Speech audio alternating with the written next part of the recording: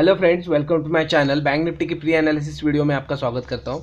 कल मैंने आपको बताया था कि ये वाला जो रेजिस्टेंस है और ये वाला जो सपोर्ट है, इस जोन के अंदर अगर मार्केट कहीं पे ओपन होता है और ऊपर की साइड में ब्रेकआउट देता है तो एक अच्छा खासा मोमेंटम मिल सकता है। ऐसा मैंने आपको बताया था। मैंने आपको ये भी बताया था कि शायद मार्केट अगर गैप अप होता है तो थोड़ी बहुत एक प्रॉफिट बुकिंग आ सकती है।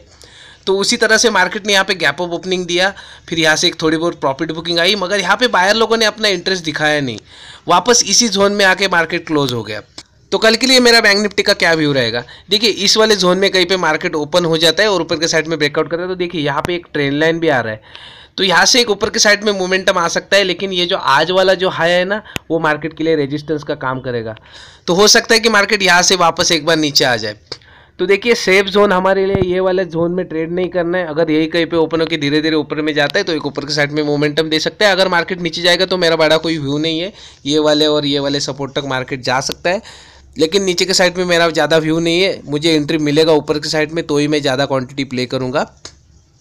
तो देखिए श्योर शॉट हमारे लिए ट्रेड यही होगा कि इस वाले हाई के इधर मार्केट कहीं पे ओपन होकर ऊपर के साइड में एक ब्रेकआउट दे तो एक अच्छा मोमेंटम आ सकता है। तो ऐसे ही प्ले एनालिसिस वीडियो के लिए हमारे साथ बने रहिए। लाइक करिए शेयर करिए सब्सक्राइब करिए। धन्यवाद।